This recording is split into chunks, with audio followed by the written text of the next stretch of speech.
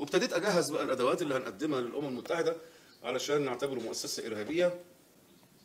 عايز أرمي من إيدهم هذا السلاح. يعني هو بيقول سيد الامني كافر ما تسمعوش ليه مسلمين. فأنا الحقيقة جاي أقول لهم من الآخر أنا كافر. فأنا الحقيقة جاي أقول لهم من الآخر أنا كافر. من كان منكم بنزاهته فيلقمه فليلقمه بحجر.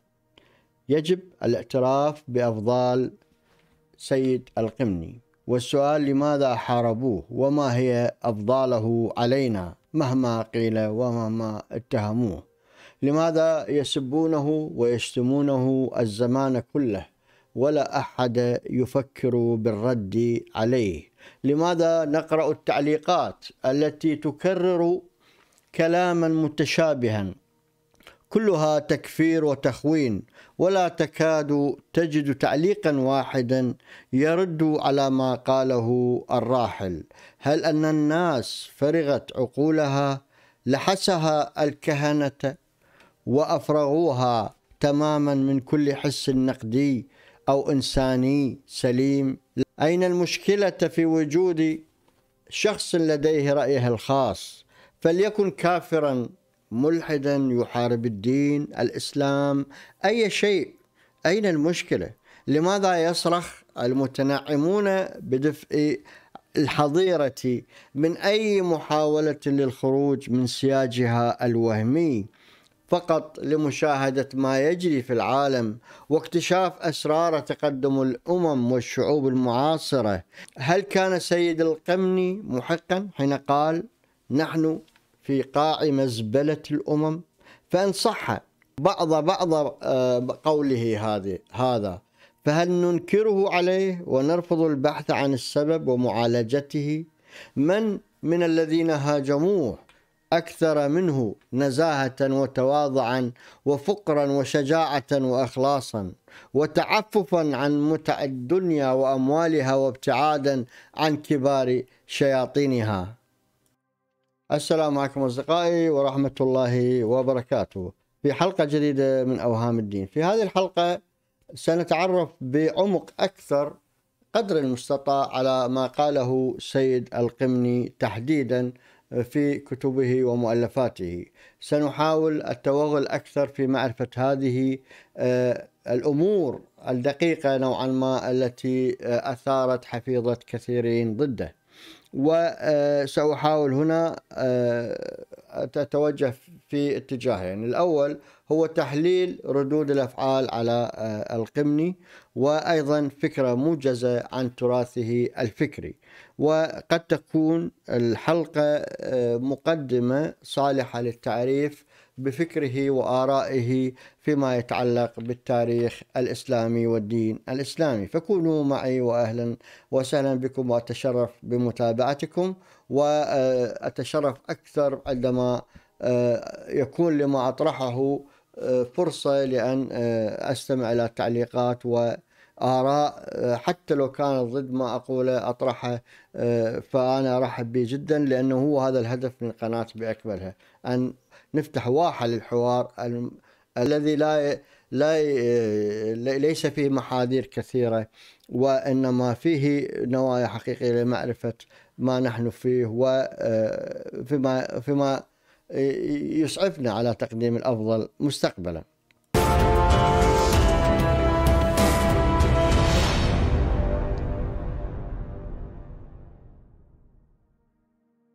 هو من يواجه الوحش في عق داره وداخل قفصة. أنت كبيرنا الذي علمنا السحر. أتمنى أن يتم الاحتفاء بشخص سيد القمني وأن يتم تكريمه لأكثر من مرة. هذا واحد من كتب الراحل سيد القمني انتكاسة المؤمنين.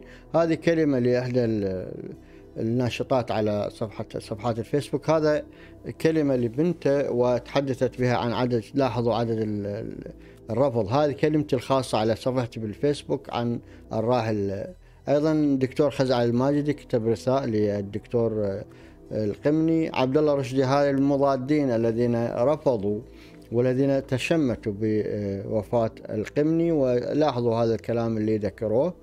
أيضا هذا شخص آخر كتب عن كبير الملحدين سماه آه هذا خالد المصري الملحد سيد القمني.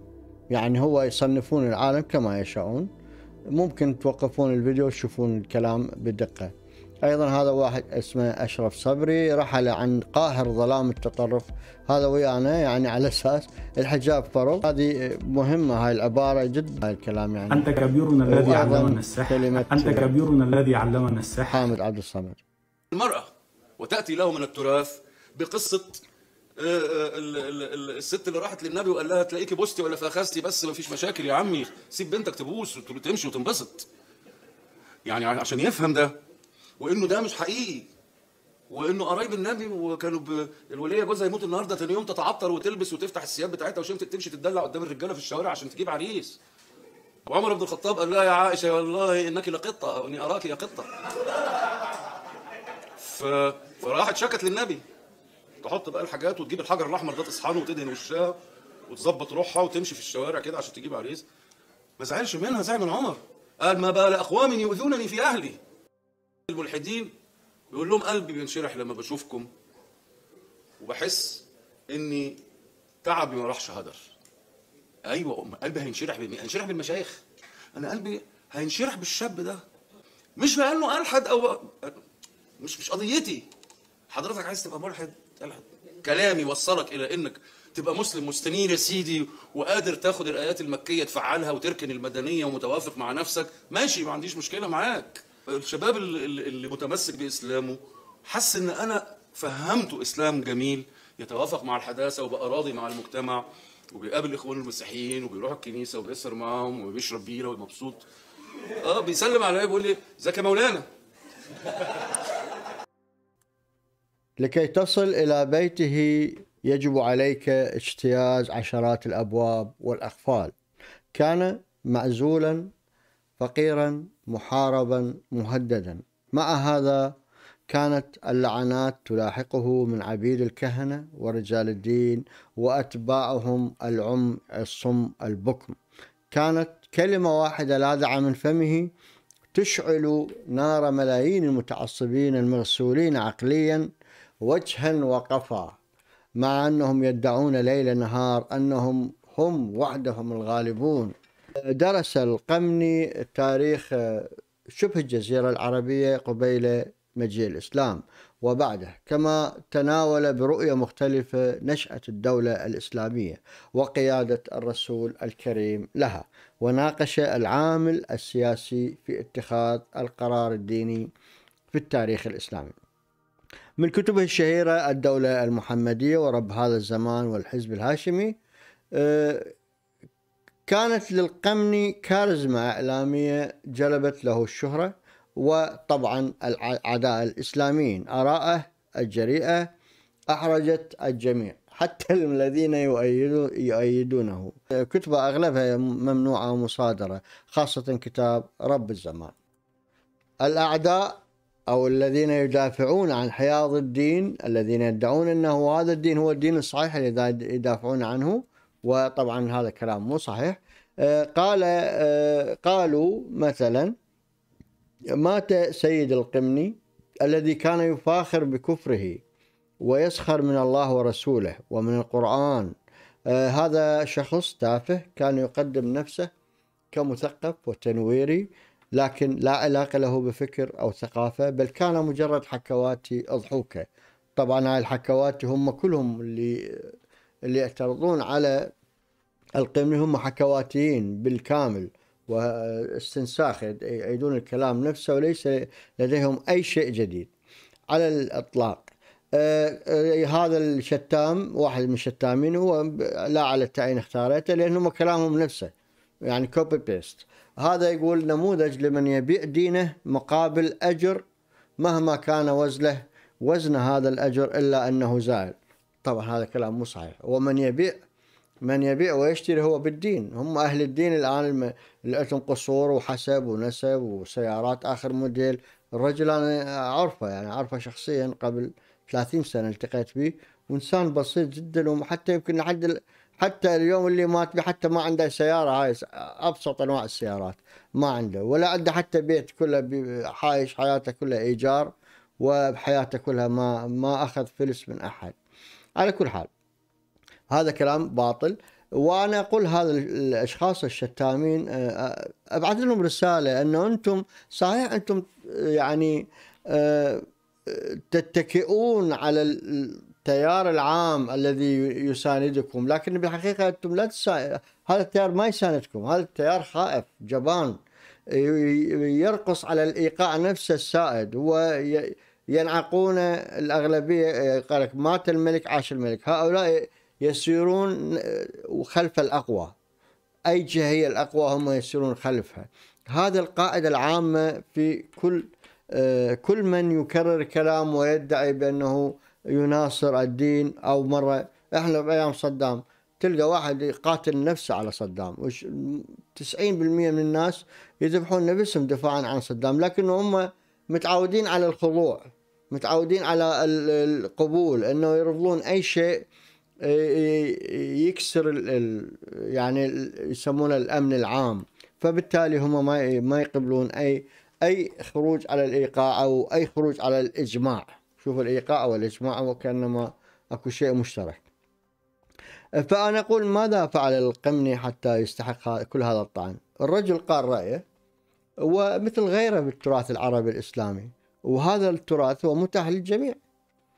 وكما يقال كل يأخذ كل يؤخذ من كلامه ويرد والمجتهد ولكل مجتهد نصيب. ف يعني هذا بالتراث هو نفسه اللي يقول هذا الشيء. أما أن أن واحد أن إحنا نطلع ونرفض ما أحله حتى الشرع الإسلامي نفسه من رأي واجتهاد فهذا ما يدعو للتكفير. يدعو للتأمل ويدعو للحوار ويدعو للنقاش ما راح تنقلب الدنيا يعني. فماكو مسلم أعتقد ليس هناك مسلم أكثر أنا إيماني أكثر من عندك أو أنت إيمانك أكثر من عندي إلا إذا أنت عندك صك رسمي من رب العالمين يقول بانه أنت الناطق الرسمي باسم رب العالمين. فما يصير هذا الكلام يعني. هو هذا اللي سبب الخراب العام. وأيضا يجي بعد ذلك هو نفس اللي هو هو أكبر كاهن في الدين ومستولي على الدنيا كلها ويقول لك لا كهنوت في الإسلام. هو كاهن ورواتبه وفلوسه ويقول يقول يتحدث باسم الله. بس لكن ماذا تفعل. هاي الأغلبية تحقد وتكره وتقاد كما يعني ما كما تقاد. ما أذكر هذا الكلام. على كل حال السؤال هل للقمني أفضال علينا؟ أنا أعتقد نعم. له أفضال كثيرة علينا. أكثر بكثير أو من رجال الدين والذين يدعون الدين. والسؤال قبل أن أتحدث عن أفضال القمني راح أتحدث عن أفضال هؤلاء رجال الدين. ما هي أفضال رجال الدين عليكم؟ هل قدموا فائدة واحدة لكم؟ ما الذي حصدتموه من تبعيتكم لهؤلاء؟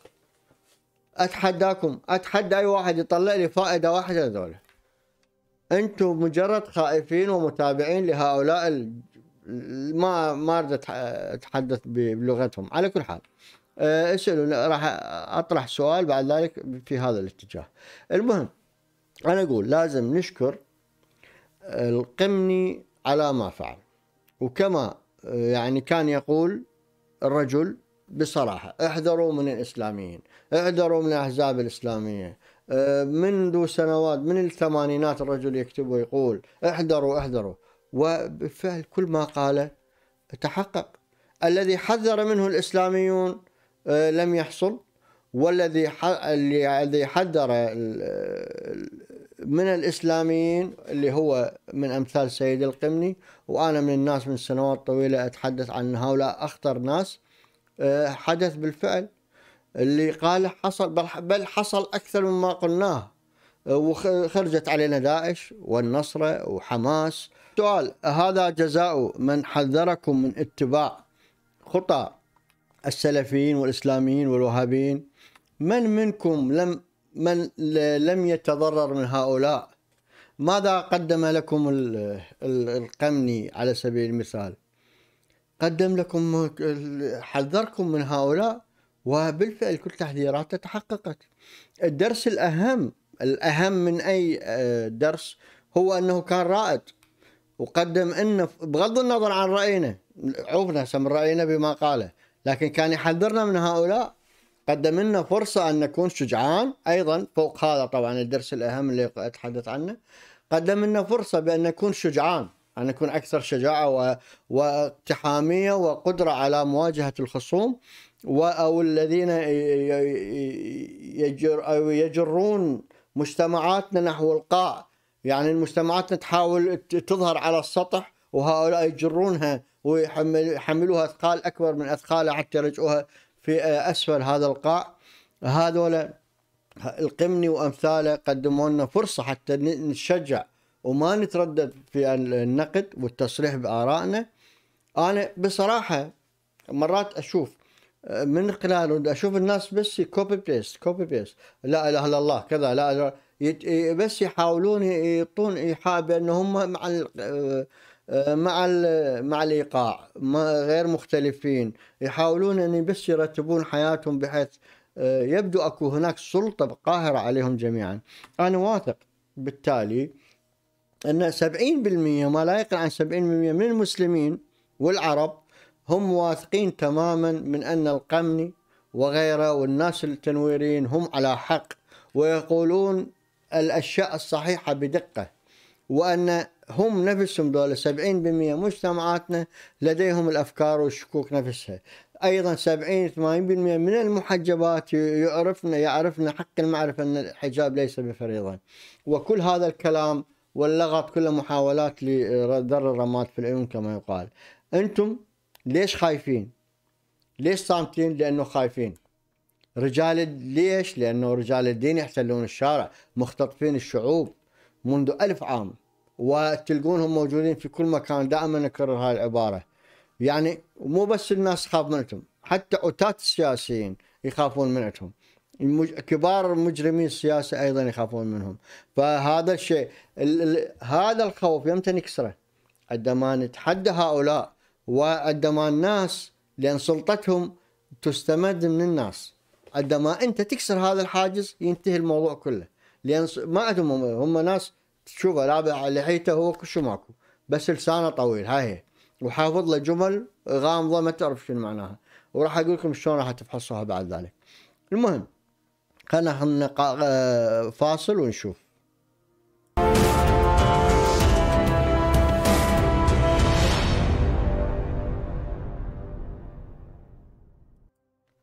ما الذي علمنا إياه سيد القمني؟ قدم لنا درسا اخلاقيا رفيع المستوى. قال لنا آه، علمنا كيف نمتلك أخلاق رفيعة ونتعلم فن احترام الآخرين بغض النظر عن اي شيء آخر حتى قبل أن ينطق الآخر بأي كلمة. هذا اللي يجب أن نتعلمه من سيد القمني إنه ليس كل من يقول شيء آه، أن نرده إذا كان الشيء لا يعجبنا. بالعكس إن هنالك شيء أساسي في الحياة بأكملها.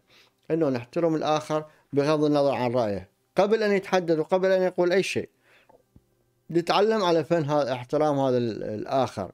هذا ال- الدرس اللي لازم نتعلمه من تجربة القمني وكثير من الناس الذين يخرجون على السائد من حقهم.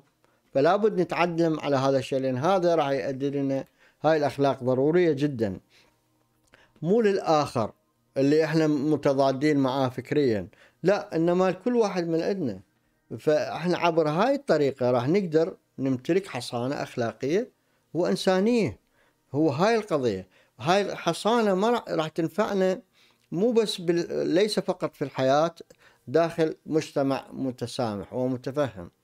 آه، يعني آه، متفهم لحق كل واحد فينا يقول ما يشاء. بل أنها تجعلنا ننصت للآخر. نتقن فن الإنصات للآخر وسماعه ومحاولة فهمه بدلا من أن نهاجمه.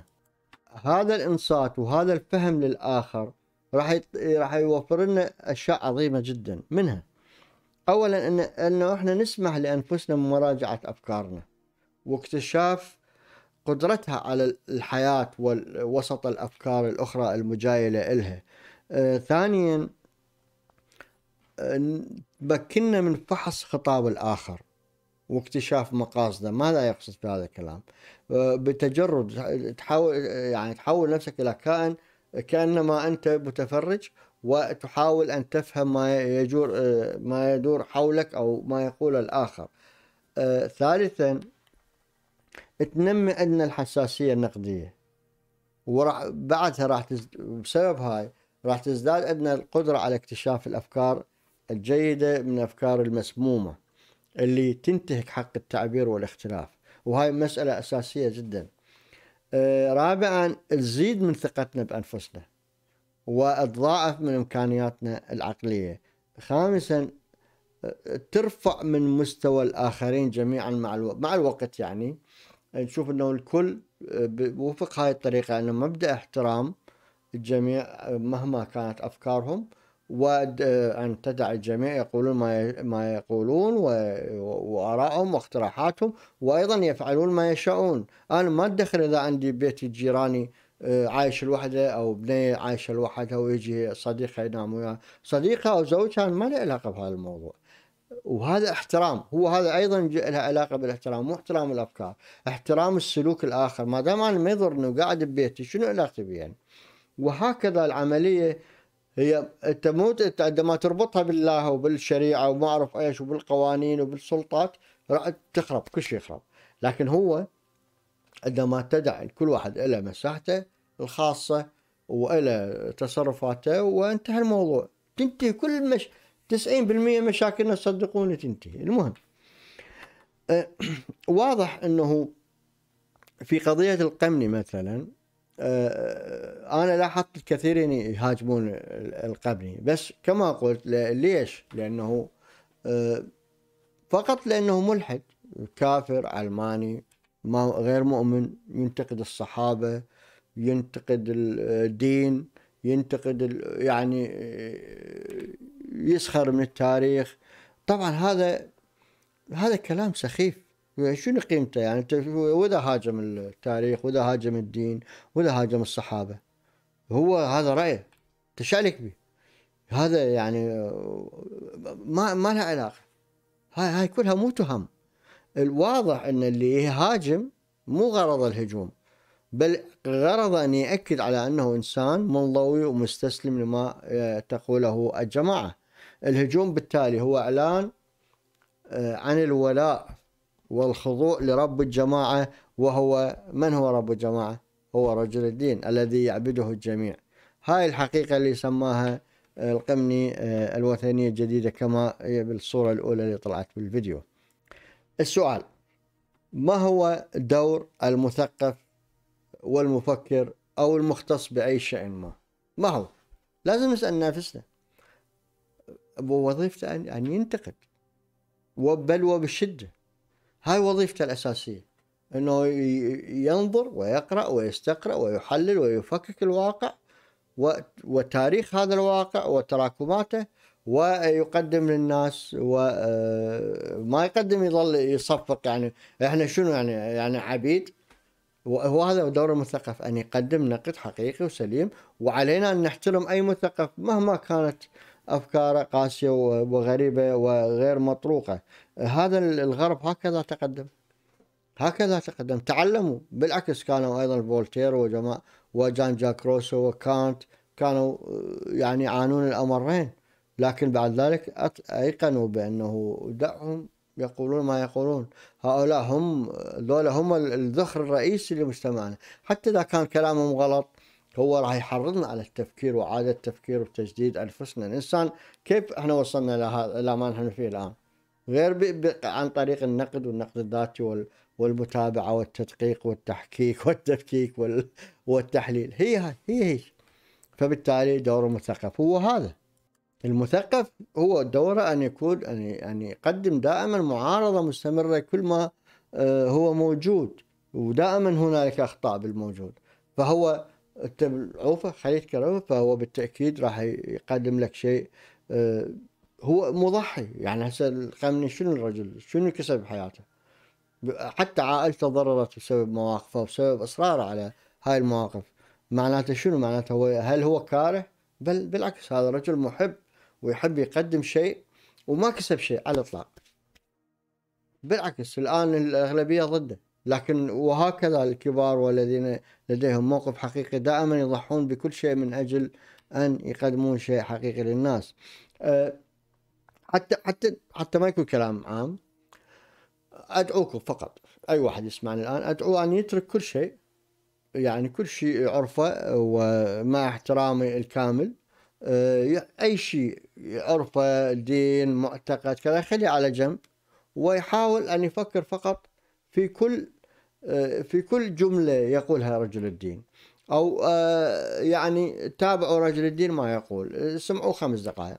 وحاولوا تتاملون بهذا الخطاب مالته راح تكتشفون إن هذا الخطاب غامض وغير مفهوم وفيه إشكالات كثيرة جدا وأنا واثق من هاي النتيجة. واللي واثق منه أكثر إنه الناس لا تعبد الله إنما آه، الناس تعبد آه، الدعاة ورجال الدين وهؤلاء الذين يصفقون لهم لماذا؟ السبب بسيط لأن الناس تريد شيء جاهز وتقدم يقدمون لهؤلاء وسطاء بينه وبين الله. أي وسيط بينك وبين الله هو كاهن. كاهن يأخذ آه، يأخذ فلوسه من عرق جبينك وليس من عرق جبينه هو. هو آه، موجود وسيط بينك وبين الله ويقدم لك الله بطريقته هو بمزاجه. فأنت تعتقد بأنك تعرف الله وتؤمن بالله وتعبد الله لكن بحقيقة تعبده هو. لأنه لا يوجد الدعاة انتهوا. سأقدم محاضرة عن هذا الموضوع. انه هناك فرق بين الداعية والرسول. الرسول هو الداعيه الوحيد. لا يوجد داعيه بعد الرسول. الرسول اتى برسالة وانتهت الرسالة. قال اليوم أكملت لكم دينكم وانتهى. إعلان صريح لا يقبل الجدل ولا النقاش ولا التفسير ولا التأويل. اليوم أكملت لكم دينكم ورضيت لكم الإسلام دينا. الداعي الوحيد هو الرسول. تيجي تصير داعية براسي؟ هذا شيء ولا يكتفي بأن يكون داعية. لا يقول هذا هو الإسلام وهذا هو الدين وأنا ولا يقول هذا رأيي لا يقول لا. هذا رأي هذا كارثة كارثة عليكم. معناتها إما أنت تكون عبد أنت تعبد هؤلاء ولا تعبد الله ولا تقدر الإسلام ولا لديك إيمان بمحمد لديك إيمان بهؤلاء. منو شيخك أقول لك هو هذا. الإله الذي تعبده؟ وهذا أنا واثق منه وراح أقدم أدلة أدي ألف دليل عليها. فبس آه، أتفرغ وأقدم لكم ألف دليل إذا تردون على هذا الموضوع. أختم هذا الجزء وأقول من يستطيع اتهام القمني بشيء؟ هل ترك خلفه ثروة؟ هل نشر كلمته وأفكاره من أجل مال أو جاه أو منصب؟ كلنا نعرف أنه عاش فقير مطارد حاله حال جميع التنويرين. ذكر كما قلت أن ذكر التنويرين هو يعني ما يوصل إلى مصاف التنويرين يعني هو رجل يعني عنده عنده جهد البحثي والتاريخي لكن هو أدى أدى قدرته على إثارة الرأي العام وأن إيصال صوته والأفكار الأساسية. وراح أتناول موضوع موضوع الإرث المعرفي وهو ليس بالإرث الكبير جدا لكن بالقياس إلى الآخرين هو قدم شيء ممتاز وكان له حضوره بين الناس وإثارته واللي راح أيضا نتطرق لها. يكفي أنه ليش هو الآن هذا في حالة يعني هو وعائلته عايشين الأمرين. بنته اليوم تقول هذا يجي عبد الله رشدي يتحدث عن عن أبوه يقول إنه باع دنياه بآخرة باع آخرته بدنياه. ما الذي من الذي باع آخرته بدنياه؟ هو لو أنت. يعني هم يتحدثون عن إنه باع آخرته بدنياه. كأنما هو يعني يتحدث كأنما القمني كان عايش في قصور وفي حسب ونسب وعايش في في خير عميم ويكسب من اليمين واليسار. رجل عاش فقير أنا أعرفه والكل الناس عارفه ليش ما تقولون؟ هاي لو لو كان عنده سيارة كان قلبتوا الدنيا. لو عنده بيت باسمه كان قلتوا هذا شوفوا عنده بيوت وسويتوا قصة. هذا عيب عيب هذا أصلا. كارثة وعار عليكم وأنا أعتقد هذا عار كبير عليكم. يعني تذكروا بالتنويرين. الآن ديكارت روسو جان جاك روسو فولتير سبينوزا هذول كلهم عانوا أشد المعاناة. آه، روسو راح على جبال الألب صعد عاش هناك انهزم من من قبل رجال الدين بسبب رجال الدين. فولتير أيضا انهزم من أنتم. ديكارت انهزم راح للسويد ومات بسبب إنه صاب من البرد مال السويد ومات هناك. بسبب خوفه. ومن كتب كتابه عن رسالة في المنهج انهزم إلى هولندا. والآن من الذي آه، يحتفي به الناس ويرفع شأنه؟ من؟ الذين قاوموهم والذين كتبوا ضدهم الكتب وحاربوهم؟ لا بالعكس. جان جاك روس الآن هو كل قيمنا الآن والعقد الاجتماعي وهذا يعني آه، يعني مصماخ أساسي في في حاضرنا وواقعنا. على كل حال راح أتحدث عن الجانب الآخر اللي هو الفكر القمني.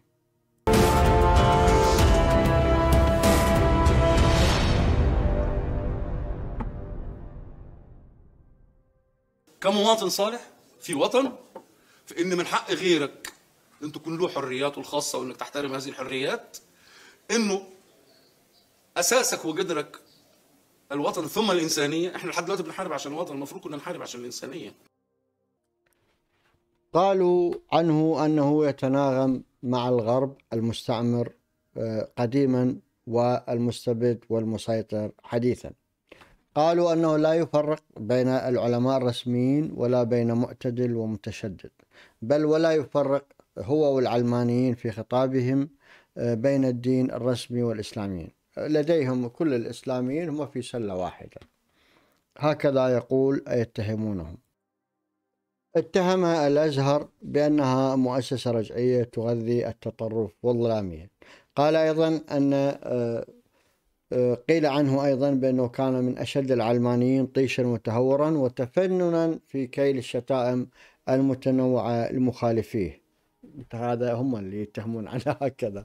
وأنه تاشى على القمامة هكذا قالوا عنه التي خلفها المستشرقون والصهاينة. وأنه لفرط عشقه للقمامة وشدة غرامه بها لا تقع عينه إلا عليها. يعني هذا يعني شيء شيء يعني يعني ضحكني والله. آه، قالوا أيضا بأنه ملأ كتبه شتما وسبا وتحقيرا في علماء الأمة على مر الأعصار وبدأ بالصحابة الكرام ومرورا بفقهاء الأئمة وانتهاء بالمعاصرين. بل قالوا بأنه لا يرى في الإسلاميين المعاصرين إلا مجموعة من الفاسدين المفسدين الذين هم أحقر من كل حقير وأخبث من كل خبيث. طبعا هذا كلام كله أنا عندي المصادر مالته حتى لا راح أذكرها أقول كلام مختصر راح أطلع بعد ذلك كله هو مصادره. آه، كل علماء الإسلام قالوا آه، آه، أنه هو ادعى بأن كل علماء الإسلام من لدن الصحابة إلى هذا يعني هم هو هم في نظره سدنة وكهنة. هاي عنده بالصفحة 54 من كتابه شكرا بن لادن. اعتبر بأن آه، آه، يعني هو أسلوبه آه، قالوا عنه بأنه أسلوبه يقترب من أسلوب فرج فودة فرج فودة من خلال تحقير الآخر واتهامه وإدانته. فهو بالنسبة لهم كل ما عدا العلماني هو شرير وحقير وظلامي ومستبد وسفاك للدماء وخطر يتهدد الأرض والسماء. طبعا هو صحيح هذا أنه هو مو مو القول يعني إنه هو قريب جدا من فرج فوده لأنه هو عنده حضور إعلامي كبير جدا يختلف عن المفكرين الآخرين. هو آه، أكثر شيء آه، يعني قريب للناس العامة وراح آه، راح أوضح السبب بعد ذلك.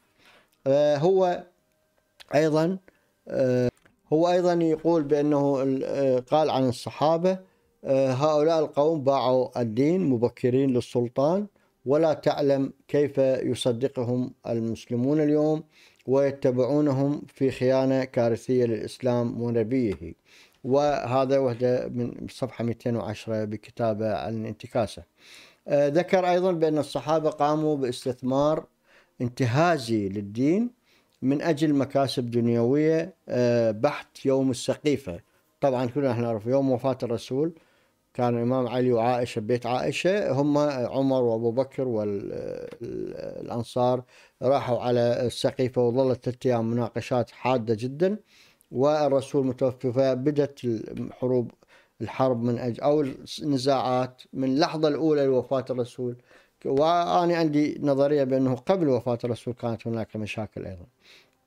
يعني بدت سلطة الرسول تقل آخر ستة أشهر من حياته وخاصة بعد عودة بعد الحروب الغزوات الأخيرة اللي قادها الرسول بنفسه. آه، وأدي أدلة على هذا الكلام يعني. مو كلام عام يعني. على كل حال القمني أيضا أول آه، قال بأن أول استثمار انتهازي للدين قام به هو أبو بكر الصديق. آه، عندما استغل الموضوع واحتج بحديث الخلافة في قريش والذي احتفظ به سرا حتى آه، يوم السقيفة. فيما يتعلق بالصحابة وكبار الصحابة تحدث كثيرا سيد القمني قال كانوا أول من خالف نصوصا واضحة قاطعة ثابتة لا متشابهة ولا منسوخة بل خرجوا عليها وألغوا العمل بما لم يعد يناسب الزمان منها حتى أن بعضهم خالفها لمصالحه الشخصية ومكاسبه الدنيوية علنا ودون مواربة كذلك يقول القمني عطلوا أحكاما وألغوا فرائض وحرموا حلالا دون أن ينظروا قبل القرار في قواعد فقهائنا التي لم تكن قد اخترعت بعد. أي يعني إشارة لأن الخلفاء غيروا وبدلوا آه، وبعد ذلك إجت يعني يعني الخلافات لاحقا حدثت وليس آه، سابقا. ويقول بأن وصل الرأي بكبار الصحابة إلى تعطيل حدود ومخالفة نصوص قاطعة بل والعمل بعكسها دون عبرة بفقه الثبات وقواعده الدموية. آه، فلم يلتزموا شروطا لما يفعلون سوى المصلحة بغض النظر عن قول النص في الأمر. هذه آه، أي كتاب آه، لحظة أشوف. أعتقد هو لنس النكسة شكرا بن لادن. آه، قال أيضا لا لا تعرف أين تضع العهود التي نكثها الصحابة والرؤوس التي قطعوها وطافوا بها في البلاد.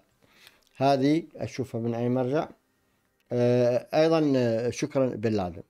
آه، صفحة 199 قال أيضا أن أفعال الصحابة والتابعين لم تكن كلها لصالح البلاد والعباد. فعملوا بالرأي والتأويل إنما لجأوا للرأي والتأويل أيضا لأغراض شخصية ومنافع دنيوية.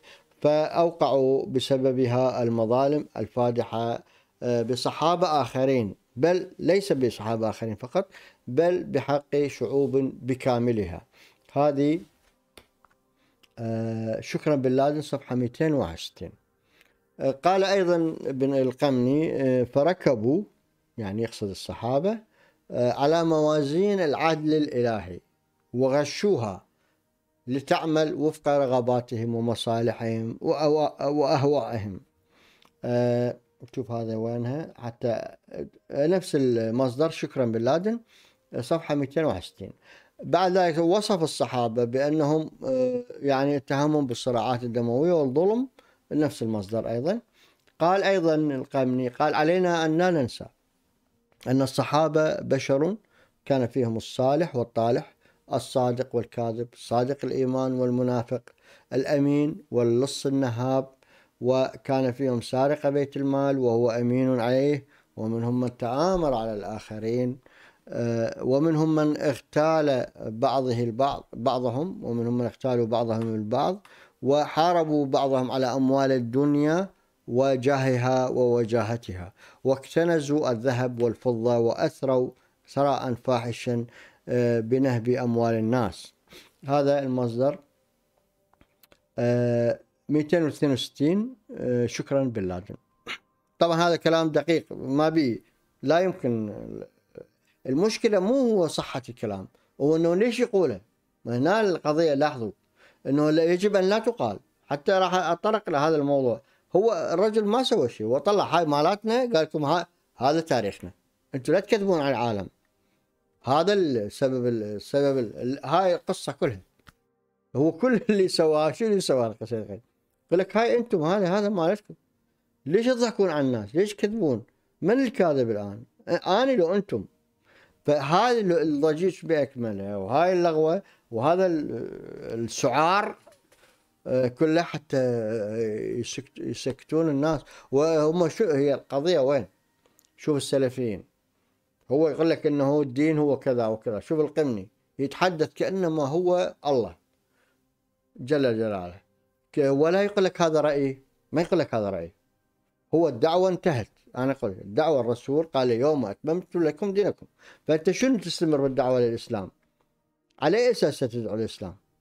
من أعطاك هذا الحق؟ أوكي أدعو للإسلام بس تدعو شنو تدعو؟ بصفتك من؟ هل بصفتك رسول؟ الر- الر- النبو- النبوة انتهت لا يمكن أن تتجدد وختمت وانتهى الموضوع ولنا إعلانا صريحا إنه اليوم أكملت لكم دينكم وأنا آخر الانبياء. أنت شنو؟ سميني أنت شنو؟ أنت واحد عندك دعوة للإسلام ما لك ما لك حق تدعو الإسلام. هو مسلم. وحتى المسلمين بأيام الرسول ما يدعون الإسلام. بالمناسبة اكو أكو مشكلة عند كثيرين يعتقدون بأنه الإسلام كان آه، يدعو إنه الفتوحات آه، طلعوا للدول العربيه آه، سوريا والعراق. العربية صارت لاحقا سوريا والعراق والشام. وكل الدول يصورون إنه طلعوا يدعون الإسلام. لا. ولا كت ولا حرف واحد. كتب التاريخ بأكملها. الأمهات الكتب ولا واحد يقول لك إحنا رحنا سوينا فتوحات حتى ننشر الإسلام. بالعكس إنه كان اللي اللي يريد يدخل الإسلام يقول لا لا ما أريدك تدخل الإسلام. لحتى يأخذون الجزيه وأزيد أكثر. وأقول الرسول نفسه عندما كان يرسل سرايا يقول لهم لا لا تجبروهم على دخول الإسلام. الدعوة انتهت. حتى الرسول ما كان يدعو الإسلام ولا يريد الناس تدخل الإسلام. وال70% من الناس كانوا لحد القرن العاشر الثالث عشر كانت 70% من الناس الإسلام المسلمين كانوا أقلية. لا تكذبوا لا يخلوهم يكذبون عليكم. وعندما يقول لكم السلفيين بأنه إحنا نريد الإسلام الصحيح قل هذا الإسلام الصحيح اللي اياه القمني واللي ال- خليل عبد الكريم وروح شوفه. فهو اللي هنا فضيحتهم. قال لك لا إحنا ندعو الإسلام. انت من أنت انت هل أنت نبي؟ النبوة انتهت. أنت بأي حق تدعو. فأنا هذا يعني باي ذا بس لأنه خلينا ناخذ فاصل.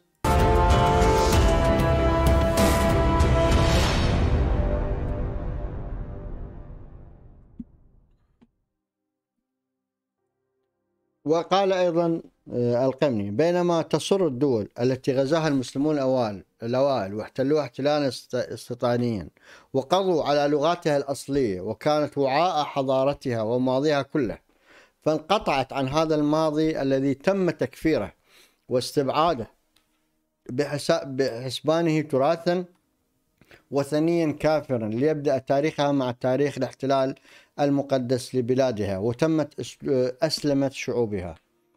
هذا عملية طمس تاريخ بأكمله باسم شيء لم آه، ما لك حق إنه ت- تلغي تراث وتاريخ وثقافة الشعب كامل وتأسلمه وب- كما تشاء. آه، ال- ال- يقول آه، يتحدث أكثر القمني يقول له ولم يعطي هذا الإسلام لمن أسلم درجة بل ظلوا ظل كل من أسلم هو آه، وا- موالي حسب على الموالي يعني أشبه بالعبيد في بلادهم وصاروا آه، موالي وخدم للسادة العرب الفاتحين. وبالمناسبة معظم اللي أسسوا اللي اللي, صنعوا الدين الإسلامي هم ذول الموالي.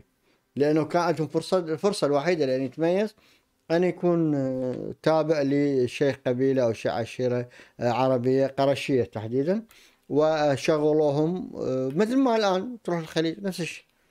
يجيبون مثقفين منو مثقف منو كاتب منو الألمعي يجيبوه شغلوه عندهم نفس الفكرة ونفس القضية هم بس قصور وحسب وخدم وهاي. أي مواطنين الكل أصبحوا مواطنين درجة ثانية حتى المسلم نفسه مواطن درجة عاشرة ربما بوطنه ولحد الآن شوف رجل الدين ما يطلع بالشارع. يستنكف ويس يعني يتحدث مع الآخرين من بعلو وغرور مو طبيعي. وما شفت شفت يوم من الأيام رجل دين دق باب فقير. شفت يوم من الأيام ر- رجل دين راح افتر يساعد الناس. ماكو. ليش؟ سألوا نفسكم شوية انتبهوا شوية راقبوا يفتحوا عيونكم يعني. المهم آه، هم يتهمون بأنه كل هذا الكلام إنه آه، إنه ليش يقول إنه المسلمين درجة ثانية وموالي وصاروا عبيد وأتباع فقط وما لهم حق ال- الكلام ولا النقاش؟ يقولون لا هذا واحدة من أعطيكم المصدر يقول هذا إن كل حرف من هاي الكلمات يشهد بافتراء القمني وكذبه وليس هذا مجال شرح ذلك. أعطيكم المصدر أيضا. يعني هو واحد من كبار ال- اللي ردوا عليه اللي حاول أن يناقشه يعني. الح- المحاولات النادرة. آه، قال أيضا هو هذا نفسه قال إنه وصف أصحاب الرسول آه، رسول الله صلى الله عليه وسلم الذين زكاهم الله في القرآن بأنهم أصحاب حسابات ومصالح وتحاسد وتباغض. وقال عما فعلوه يوم السقيفة لما بايعوا أبا بكر الصديق آه، أيضا بأنه كل هذا مسألة آه، تحاسد وتسابق وقال كلها هي كانت ابتعاد متواتر عن قرارات الإسلام ومسخ لمعنى الشورى وضحك على ذقون المسلمين وتزييفا لوعدهم.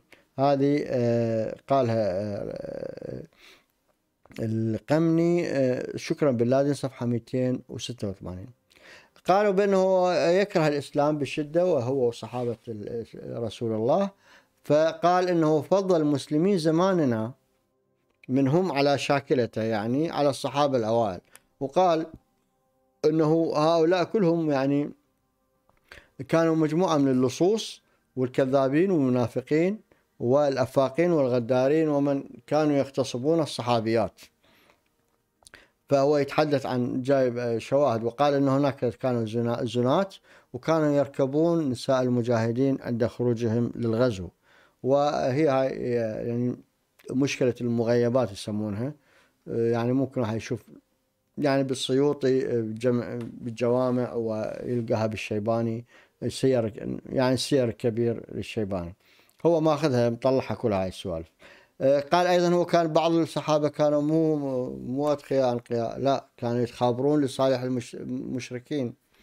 وذكر نموذج حاطب بن أبي بلتعة بالبخاري آه، 74 وأيضا بالمغازي. آه، يقول أيضا بان هم آه، القمني بأنهم بعد زمن النبوة آه، أثروا ثراء فاحشا على حساب أرزاق أهالي بلا- البلاد المفتوحة وقتلوا بعضهم بعضا بوحشية آه، صراعا على المال والسلطان. وأن آثام بعضنا اليوم بعد طول بعاد عن ذلك الزمن القدسي آه، يجعلها لا تقارن بالمرة مع آثام ذلك الرعيل الأول. هاي صفحة 157 شكرا بالله فيستمر قال أن الصحابة كانوا يتحاربون على المال وعلى السيطرة على بيت المال. هاي في كتاب انتكاسة المسلمين صفحة 361 وأنهم كانوا سراقا لبيت المال لبيت مال المسلمين لما كانوا خزنته. ولما اكتشف اكتش لما اكتشفهم عمر ماذا فعل؟ قاسهم قاسمهم هذا هذا هذه السرقة. هذا كلام آه، القرن يعني ما له علاقة. أذكر لكم المصدر والصفحة. وذكر من هؤلاء سعد بن أبي وقاص وأبو موسى الأشعري وأبو هريرة والحارث بن كعب وعمرو بن العاص وأنهم ضبطوا متلبسين واعتف- اعترفوا عمليا بهذا الجرم. هذا آه، وين؟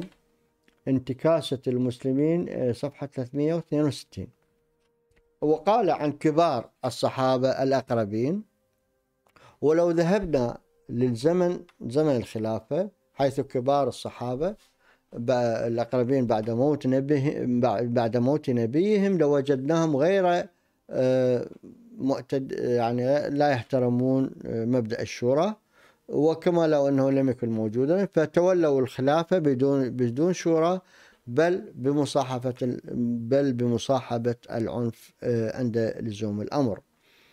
آه، وقال أيضا وأفل مبدأ الشورى تماما مذ خالفه صحابة النبي الكبار عندما تعلق الأمر بكرسي الإمارة. أيضا لم يسلم الأنصار منه قال آه، اتهمهم بحسد بعضهم البعض وحاولوا تولي الإمارة وقال أنه ذهبوا إلى السقيفة يتبارون على المنصب المأمول وتنابذوا واستخدموا العنف الكلامي. وقال عن الصحابة كذلك أن الشأن كان شأن سياسة سياسة ودنيا وإمارة فيها صراع ونوازع بشرية. هو الخلاصة أنه وكل طرف لبس رداء الإسلام حتى يمارس باسمه سياسة الدنيا قال أما عن حكاية اللي كما يسميها إجماع الصحابة على قتال مانعي الزكاة وقال بأن هذا الإجماع الإجماع كان لصالح فئات دون فئات ومسلمين دون مسلمين ومصالح دون مصالح وما قصد وما قصد وما قصد به وجه الله مما أحاطه بكثير من الشكوك والارتياب. آه، مواضيع أخرى قالها بعد. طبعا هو فصل ال- القمني تفصيل كبير وخطير جدا في قضايا الجنسية الحوادث الجنسية في المدينة زمن زمن حكم الرسول وتحدث عن أشياء يعني كثيرة. امرأة تباع وتشترى آه، واحد يروح يشتري تمر من امرأة ويحضنها ويقبلها وواحد ثاني آه، امرأة نائمة آه، يصعد عليها آه، ما يدير بال أي شيء. واحد رابع ينكح مرت أبوه زوجة أبيه مثلا أو يعاشرها دون دون عقد ويعني كثير مفاخذة جارية السيد ومملوك وهكذا. هو كلها مطلعها هاي. يعني كلها غامز ولمس كما يقولون الجماعة يعني. المهم ماذا قال القمني عن الخلفاء الراشدين؟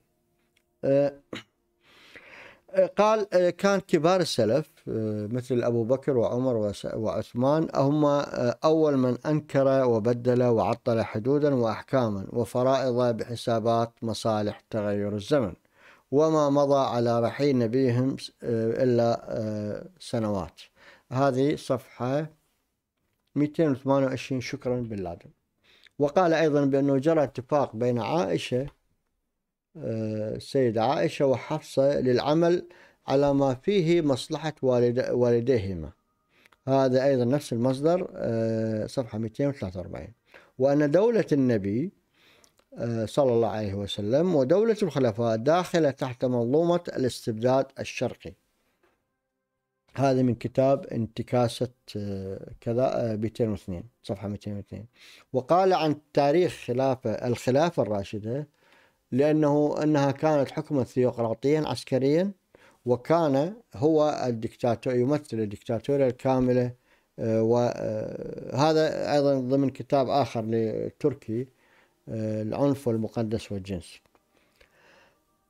قال عن سياسات أبي بكر وعمر وعثمان. قال كان كلها صراعات على الدنيا ولحوقا بمتغيراتها.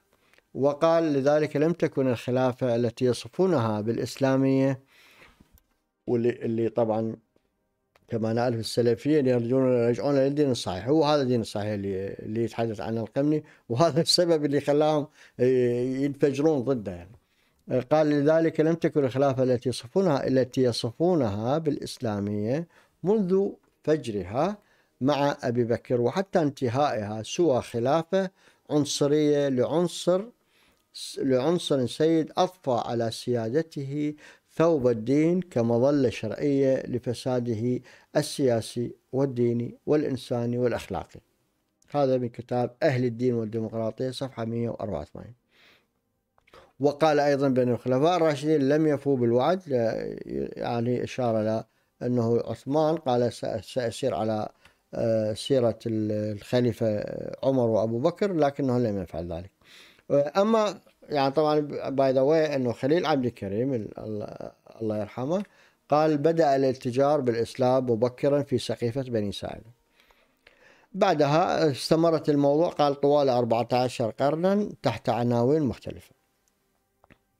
أما القمني فقال أين نضع فضاعات جيش أبي بكر الصديق مع المسلمين الذين خالفوا بيعته؟ وامتنعوا عن أداء الزكاة إليه. والوحشية التي عامل بها الأسرى وحرقهم بالنار مقموطين يعني قمطهم وأحرقهم بالنار. وأيضا ألقى, ألقى ببعضهم من شواهق الجبال وأيضا نكس بعضهم داخل الآبار. كما يعني هاي الشيء بالشيء يذكر الله يرحمه خطير المسكين الطفل ريان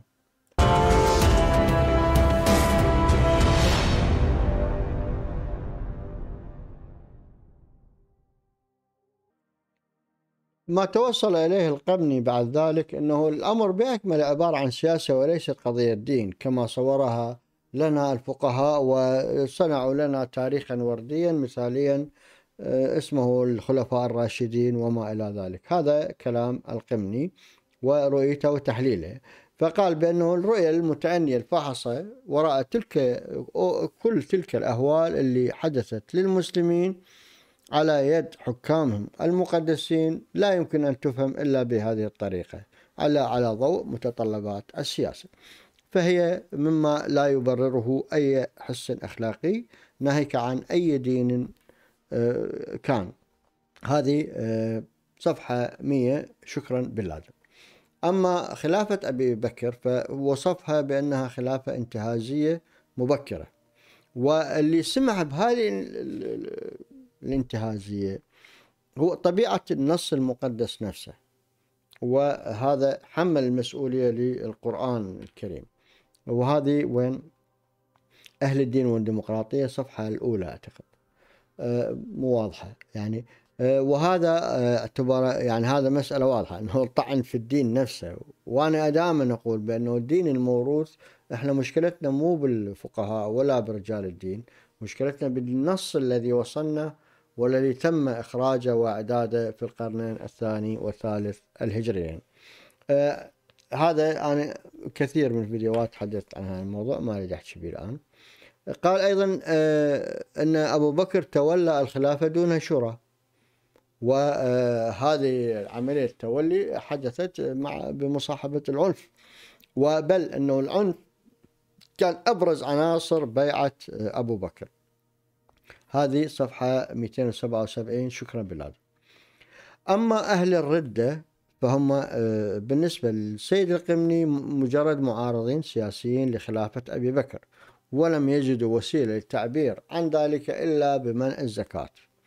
آه، صفحة 213 إلى 19 219 شكرا باللازم وأنه وأن هدف أبي بكر بحروب الردة كان آه، هدف سياسي واضح وهو إخضاع المعارضين له بالقوة وهذا أدى إلى ارتكاب مجازر بشعة كالتنكيس في الآبار كما قلنا والإلقاء من شواهق الجبال والحرق بالنار. وقال أيضا آه، أن أهل الردة كانوا يجمعون الزكاة ويوزعونها على الفقراء التزاما منهم بهذا الركن الإسلامي. يعني قال هو ما ممتنع عن الزكاة هم وزعوها على الفقراء. وزاد كلا آه لم يعفها ذلك مع هذا لم يعفي هذا لم يعفها ذلك من جز الرقاب والحصد بالسيف والإذلال بالسبي للنساء وللنساء وأطفال المسلمين والمسلمات وليس على الطريقة النبوية السابقة أنه حتى المسلمين والمسلمات يتم سبيهم. وقال إن أبو إن أبا بكر فرض نفسه اميرا على العرب ووصف خلافته بديكتاتوريه كاملة المواصفات. هذه شكرا باللازم صفحة 289 وأنه أي أبو بكر مارس عنفا غير شرعي على المسلمين وأنه قام بتصفيات تصفية آل بيت الرسول وأيضا آه، نفذ عدد من عمليات اغتيال عدة. شكرا بالله 289 أما عن عمر بن الخطاب فوصفه بأنه أحد كبار المتآمرين على المسلمين آه، وأيضا أنه حاول رشوة عم الرسول العباس من أجل الموافقة على خلافته وفشلت هذه المحاولة. هذه صفحة شكرا باللادن 288 و289 أما عن عثمان بن عفان فقال آه، يعني مو هو لا آه، إنه خلافته تسمت محاباة ذويه. ذويه وسوء تصرفهم بأموال العامة وأيضا هو اقترض مبالغ ضخمة جدا من بيت الاوان ولم يسددها دائما وكل مرة ما يسددها. هذه آه، محمد الشرفي اللي كان وزير وزير تونس في تونس. أيضا اتهم فرج فودة آه، فرج فودة أيضا بالمناسبة معروف إنه اتهم عثمان بأنه مضطرب في حكمه. آه، القمني اللي ماذا قال عن عن عثمان؟ قال بأنه دفع أموال باهظة لأقاربه وطرد الصحابة الفقراء اللي منهم أبو هريرة وأيضا عمار بن ياسر شق بطنه وضربه وأيضا آوى أعداء النبي. اللي كما معروف أنه آه، المروان بن الحكم والحكم من آه، اللي طردهم الرسول ومنعهم من العودة.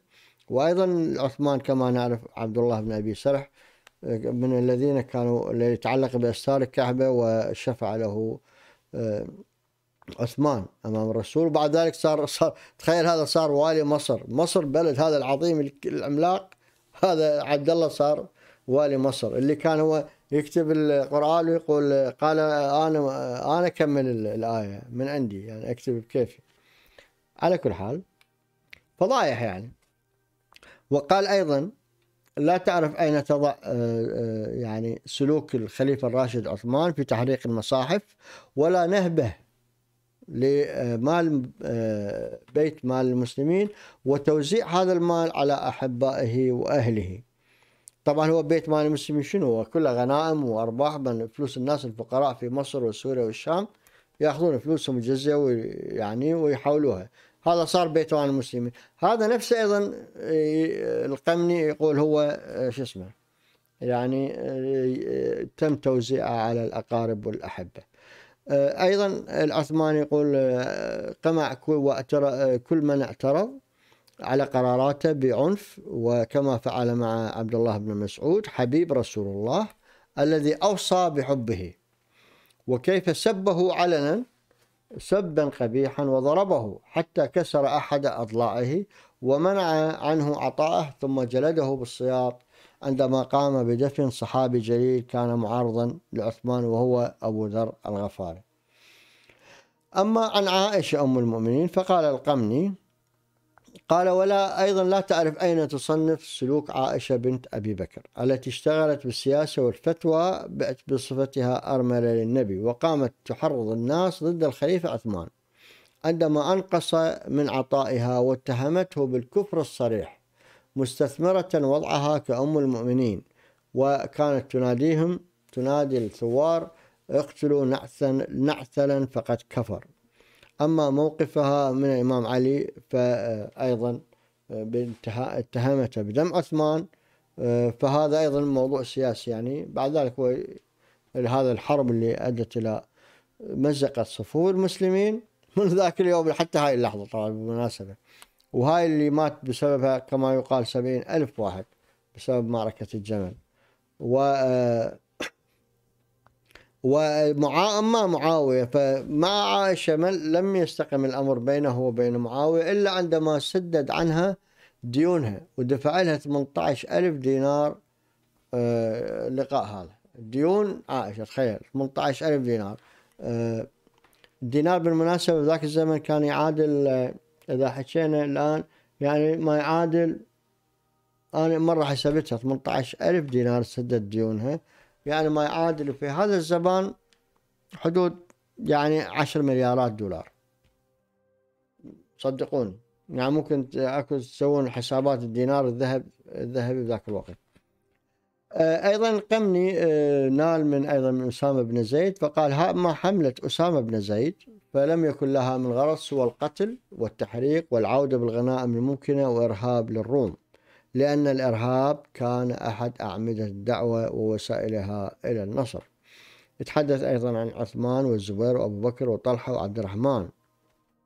وطبعا بالمناسبة صديقه فرج فوده اتهموا بتكديس ثروات ضخمه مع أنهم لم يكونوا يملكونها حسب زعم فرج فوده قبل الإسلام. ويعني معروف انه يعني يقال بأنه كانوا أثرياء لكن هذا الكلام هو كله روايات في روايات. الآن نأتي إلى الكلام الدقيق ال- ال- ال- الأفضل عن علماء الإسلام. قال القمني أن الفقهاء أنفسهم شاركوا في الاحتيال على أحكام الدين. أما الظلم الاجتماعي والقهر الفكري وسحق المخالف فقد اجتمع عليه كلاهما السلطان والفقهاء. هاي شكرا بن لادن 107 آه، وقال أيضا أن تجاوب الفقهاء كان مع رغبات السلطان حتى اخترعوا لهذا السلطان الأحاديث النبوية. وبعد ذلك لجأوا لكل الحيل الشرعية لتبرير أهواء السلطان ونزواته وأدانوا بالمطلق كل موقف معارض. حتى لو انطلق من آيات الله وشرائعه شرائعه شرائعه ووصموه بالرافض المعطل المرتد الكافر.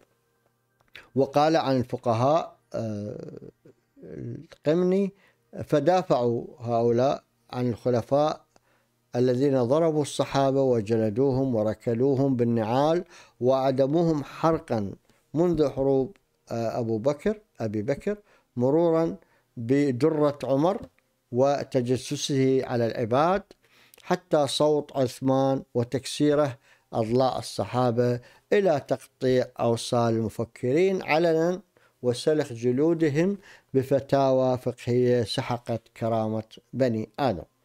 أما في كتابه آه، أهل الدين والديمقراطية فقد آه، فصب جام غضبه على العلماء الرسميين وغير الرسميين كما يقول واحد من المحبين جدا لسيد القمني فاتهمهم يقول بأبشع النعوت ووصفهم بأخس الأوصاف. وقال آه، أنه ما قاله القمني عن هؤلاء أن صناع الحضارة لم يكونوا من رجال الأديان السماوية الثلاثة بل كانت الحضارة أنشط قبل ظهور إكليروس الأديان السماوية. ثم أن التحضر الحديث لم يحدث إلا بعد التخلص من سطوة الكنيسة ولم يحدث لبلد إسلامي واحد سوى تركيا التي تحركت مع أتاتورك نحو الحضارة. يقول أن الحضارة والتقدم لم يقم بهما يوما رجال الدين بل كانوا دوبا معطلا وقامعا ومانعا والموت ضروري للتطور لأنه لو لم يكن هنالك موت لما كان هنالك تطور جديد. فالتطور يعني موت القديم ليفسح المكان لمولد الجديد.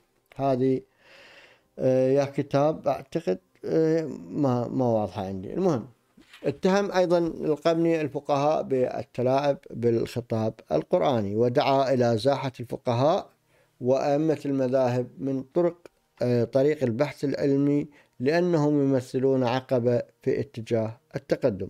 ووصف العلماء بالخضوع والعجز والانتهازية. آه، أيضا طبعا الإمام الشافعي نال ما نال من القمي لكن القمي عادة ما يدخل بال آه، يأخذ الجانب التاريخي السهل الحوادث وكذا لكن ما يدخل بالجانب الفكري مثل محمد أرجون وبقية المفكرين. هو يأخذ الجوانب اللي بها إثارة عادةً.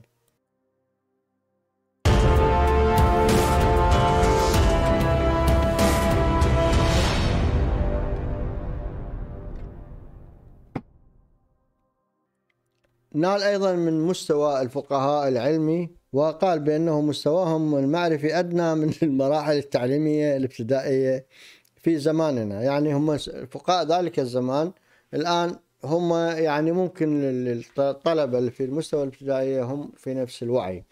فقال بل بالعكس أنه الآن الأطفال في هذا السن هم أعلى مستوى من الفقهاء المتقدمين. وطبعا يعني كان هو مبالغات عنده كثيرة. آه، على كل حال في كتابه الأسطورة والتراث قال أن هناك شبه اتفاق على أن الدين الابتدائي هو في ظهوره آه، مثل ظهور الأسطورة. الأسطورة ونشأ نتيجة الجهل المعرفي. واعتبر أن الأساطير هي جزء أساسي من الإسلام. وذكر أمثلة لهذه الأساطير وقال هنا هي مجموعة الأساطير التي أتت في القرآن والدين الإسلامي هي مجموعة خرافات وأقاصيص وهي مجموع مجهولة الأصل والمؤلف بل أحيانا المنشأ والتاريخ وموضوعها الآلهة والأبطال. من أساطير الإسلام؟ قال أن هي آه، بعضها كثير من أجل انتقلت من عن طريق المصريين القدماء آه، منها فكرة البعث والحساب والجنة والنار والصراط والميزان وشهادة الجوارح على الميت. أيضا قصة سليمان والإسراء والمعراج وناقة صالح ومنها دابة البراق ويأجوج وماجوج وقصة شعيب ونوح وغيرها. قال أيضا من الأصول الأسطورية من الأصول الأسطورية للإسلام آه، حسب القمني آه، الحج والطوفان وخلق الكون والحجر الأسود والأضحية والأعياد وغيرها. وأيضا قال بأنها منها تقديس كوكب الزهرة وعن طريق تقديس يوم الجمعة الذي هو مكرس في الرافدين يعني في العراق لعبادة الزهرة.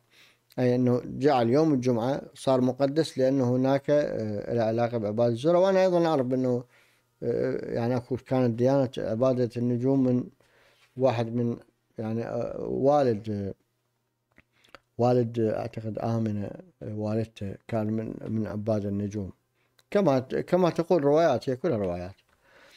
ومنها تقديس أيضا آه، يعتبر قال تقديس الكواكب الخمس السيارة وهي التي أشار لها القرآن بالخنس. فلا أقسم بالخنس. هاي بالتكوير 15 آه، وذكر أن في التفاسير الإسلامية صدى لما اعتقده البابليون في قدرات كوكب الزهرة الجنسية.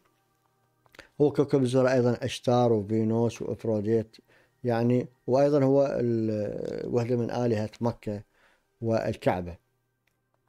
آه، راح من بالي أعتقد هو منات وال آه، لا ال- ذو الشرى. آه، بل أن ال- القمني قال بأن الولي الخضر ليس إلا أسطورة هي أسطورة الإله تموز ديموزي آه، عشيق الإلهة الزهرة. طبعا تموز والزهرة هو أكو أكو نظرية أخرى بأنه يقول لك أنه هنالك الله الأب والابن والأب والابن القمر والشمس. القمر والشمس وال والزهرة. الأب والأم والابن. الأب هو ال- القمر والأم هي الشمس. والإبن هي الزهرة. فهذول الثلاثي تحولوا إلى ثلاثي في الديانة المسيحية وأيضا تحول إلى ثلاثي حتى في الإسلام لأن يقول لك بسم الله الرحمن الرحيم الله الرحمن الرحيم. أكو ثلاثيات دائما موجودة بالديانات التوحيدية يحتاج لها المسألة دراسة عميقة.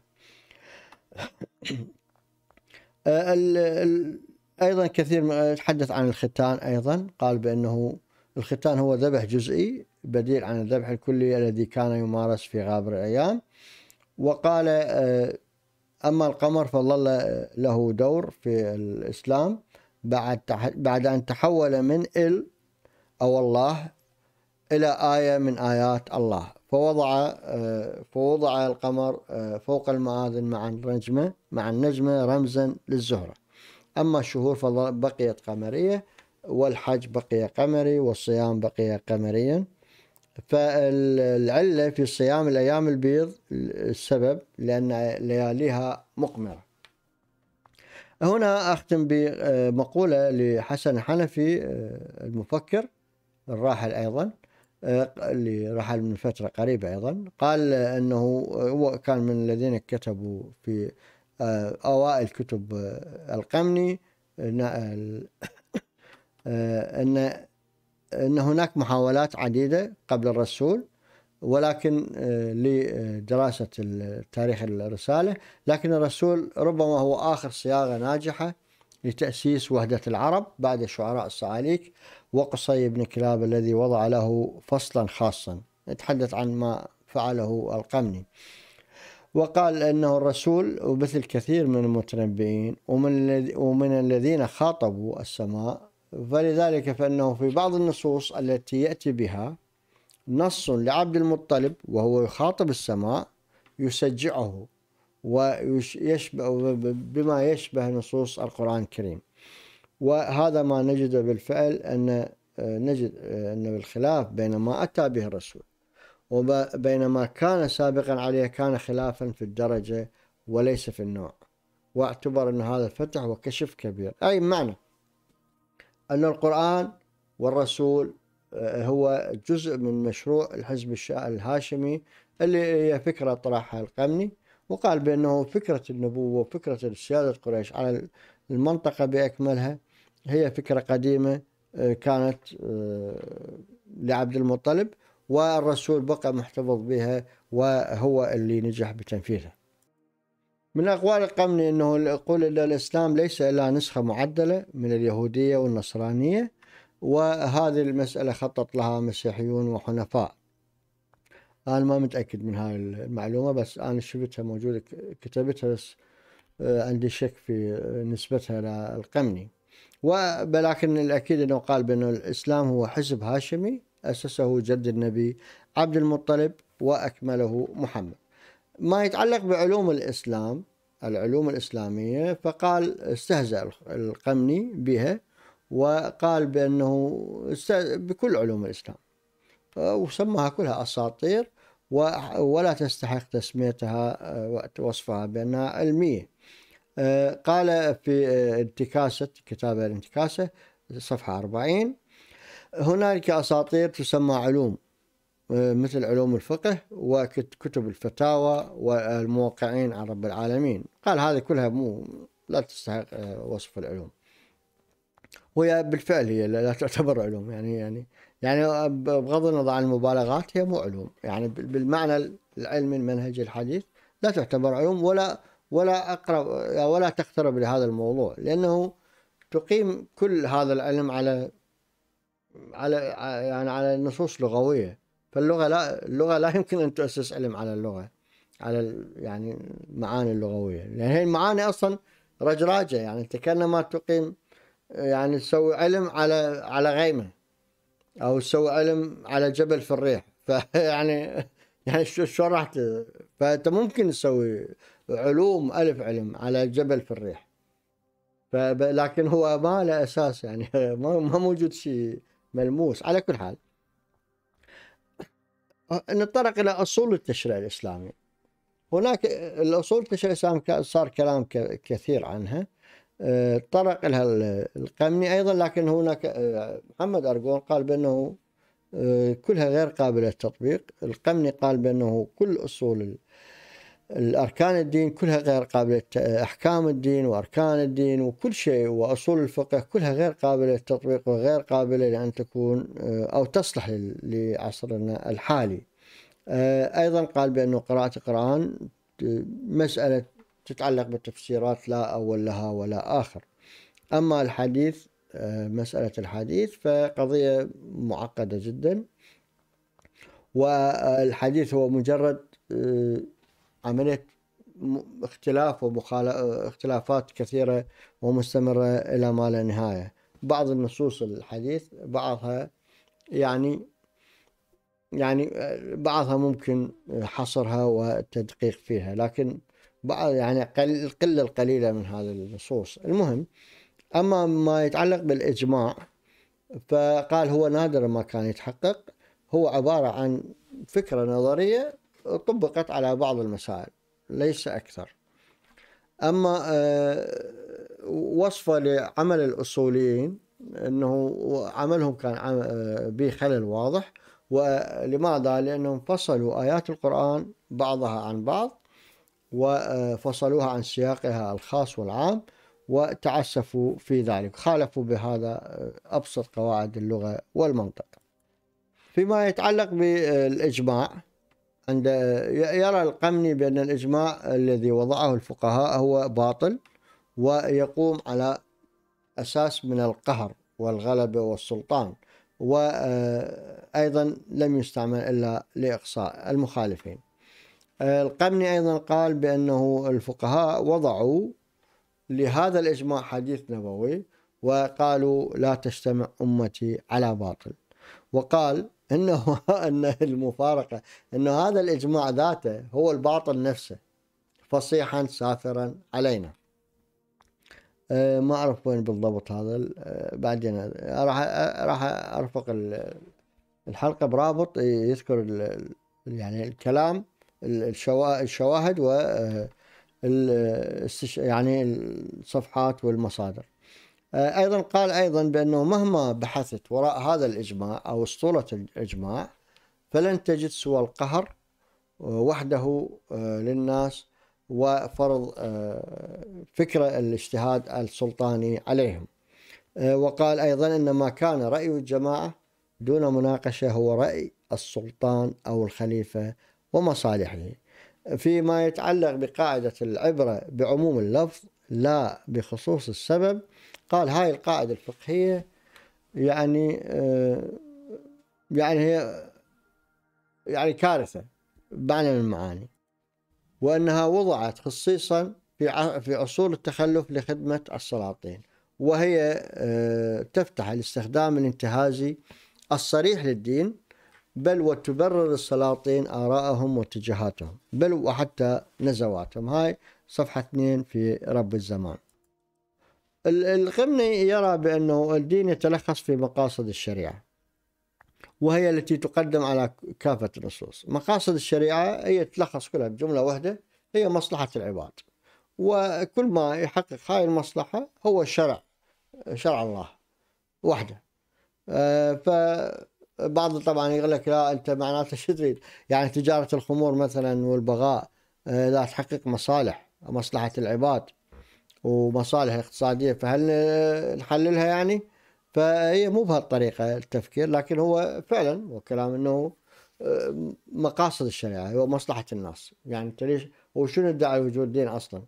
هو يوحد بين الناس ويوحد كلمتهم ويجمعهم تحت إطار واحد هو مفهوم الدولة الحديثة هاي مفهوم الدولة الحديثة بس المشكلة بالدين القديم النموذج الديني القديم مو بس ال- الإسلامي كل كل انواع السلطات القديمة أنه يعني ياخذ حقوق بس ما ينطي. يعني هو يعطيك حق واحد فقط بأنه يحميك. ما يعطيك أي شيء آخر. أنت عليك أن تقدم الولاء والطاعة والفلوس والمال والجباء والج- والخراج وكل شيء والضريبة يعني تقدم كل شيء. تقدم حياتك لل- للسلطة وللدولة. ما كانت دولة بسيطة أنه مجموعة حكام متسلطين أرستقراطية أو برجوازية مو برجوازية أرستقراطية وطبقية وحولهم طبقة من رجال الدين اللي يشرعوا لهم ويبرروا يبرروا لهم كل شيء يحدث وهم أيضا وسطاء بينهم وبين بين الجمهور وهؤلاء جميعا يحميهم العسكر. فهاي ثلاث دوائر هم ذولا يحمون كل شيء وما مطالبين الجمهور مطالب بس بالعبادة والطاعة.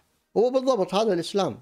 هذا النموذج الإسلامي عندما نتأمل به هو هيك وحتى بنشوف التعليقات الآن. روح شوف التعليقات على على القمي وعلى الطفل ريان وأنه القضاء والقدر ويتقبل كل شيء. وهسه راح أختم الموضوع ب- بفكرة الأشعري.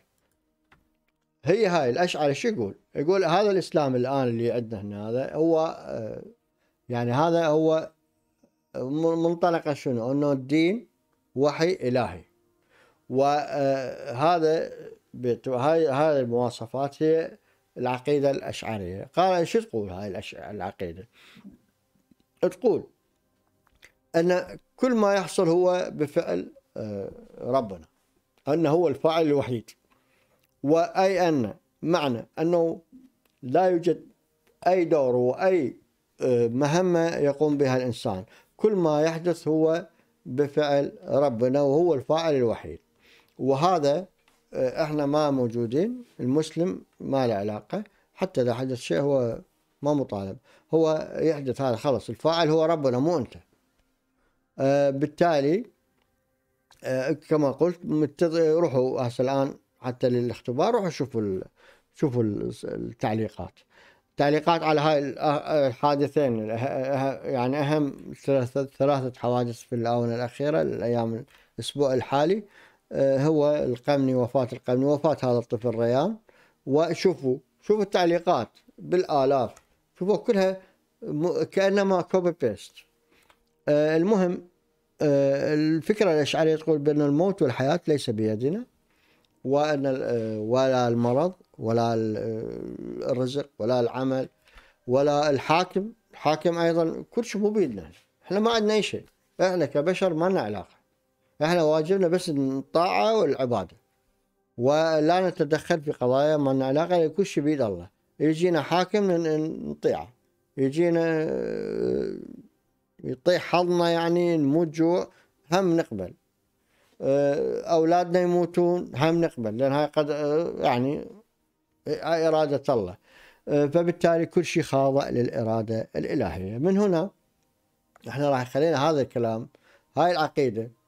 خلينا نفهم بأنه لماذا آه، القمني وأركون وكثيرين وشحرور أيضا آه، يثير أعصاب هؤلاء لأنه هنا شعوب تعلمت على هاي العقيدة ال- القاتلة التي دمرت حياتنا وأنهت كل فرص آه، لتقدمنا وحان الوقت للقضاء عليها. السؤال الأخير الآن قبل أن أختم. لماذا كان ال- القمني مزعجا ومسموعا من قبل الجميع من قبل أحب من يحبونه ومن يكرهونه. هذا السؤال مهم جدا.